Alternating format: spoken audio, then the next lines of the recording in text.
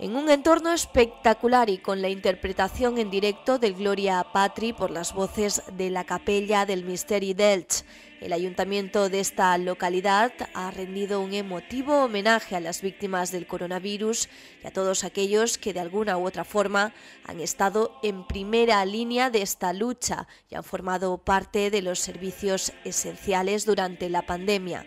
Un acto conmemorativo presentado por Maje Amorós, al que han asistido más de 500 personas que han guardado un minuto de silencio por los que ya no están. Muchos de ellos personas de edad avanzada y también jóvenes con toda una vida por delante, dejando en sus familias un profundo dolor y una gran pena en nuestra ciudad. Cada uno de ellos, cada uno de ellas, deja un vacío irreemplazable. Hoy expresamos nuestro pésame y respeto, nuestro recuerdo emocionado y todo nuestro afecto hacia cada una de las familias de las víctimas como muestra del dolor que compartimos y de nuestra solidaridad colectiva. Durante el transcurso de este homenaje se ha puesto de manifiesto el duelo y el respeto de todo un pueblo hacia quienes sucumbieron ante la pandemia y hacia quienes posibilitan diariamente con su trabajo que Elche salga de una pesadilla que comenzó el 14 de marzo de 2020. Una terrible adversidad. Una pandemia que cada uno de nosotros tiene, en cada uno de nosotros tiene su propia historia personal. Historias que conforman nuestro sentir colectivo y que queremos conocer y a las que queremos dar voz. Y lo vamos a hacer a través de algunos testimonios y relatos de ilicitanos e ilicitanas que han vivido esta crisis en primera línea. Sí que era una situación nueva porque no conocíamos la enfermedad, no era una situación a la que nos hubiéramos enfrentado, no era un virus conocido, parecía un poco de película. ¿Cómo puede ser que un virus, un enemigo invisible, haga tanto, ¿no? O sea, haga fallecer gente, haga a la gente le pase fatal y, y ver a mi madre como la vi, eso... Es que es algo que no se puede describir. Sí que es cierto que, que ese miedo y esa incertidumbre que tenías eh, al principio pues a las 8 de la tarde, cada tarde, cuando la gente salía a aplaudir en los balcones, ese miedo se transformaba en emoción.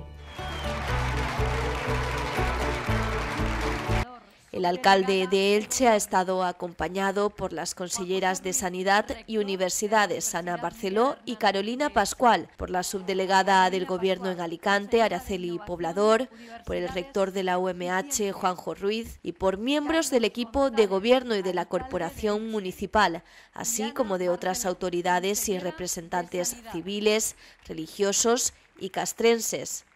Es nuestra obligación individual y colectiva como sociedad honrar y no olvidar a todas las personas a las que la enfermedad arrebató su futuro, sus ilusiones, su vida.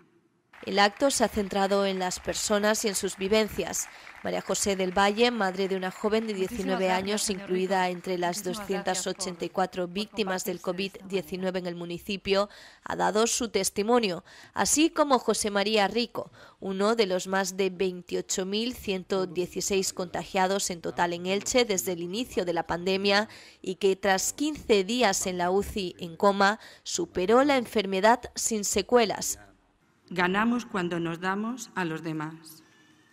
Como me han presentado y muchos de vosotros sabéis, tengo un ángel en el cielo. Me reconforta que la doctora me dice, estamos todos para ayudarte, vamos a hacer lo posible por salvarte, estás muy mal, pero vamos a hacer lo posible. No se ha querido dejar a nadie fuera de este homenaje que ha contado con una amplia representación de la sociedad ilicitana. Con el tiempo me pongo a pensar lo que esta pandemia ha supuesto para nosotros como médicos y creo que ha sido un gran reto que nos ha hecho crecer no solo a nivel profesional, sino como personas. Al principio la gente venía con, con mantas, venía con comida, venía con todo lo que tenían, hacían mascarillas. La verdad es que el pueblo mediterráneo somos muy solidarios y aquí en Elche no iba a ser menos y al principio sobre todo cuando más necesidad había la gente se volcó recuerdo trabajadores de Mercadona, los propios trabajadores que tenían con bolsas de comida, también tuvimos que montar un barco de alimentos porque había gente que no tenía recursos, hubo que empezar a repartir comida y la gente verdad que se portó pues, muy bien.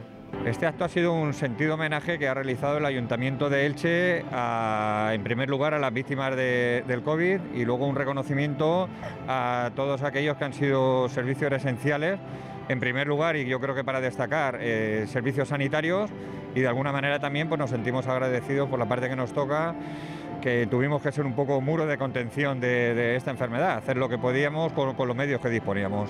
También nos ha puesto a prueba y hemos demostrado que somos capaces de afrontar situaciones límite y sacar lo mejor de nosotros mismos para ello.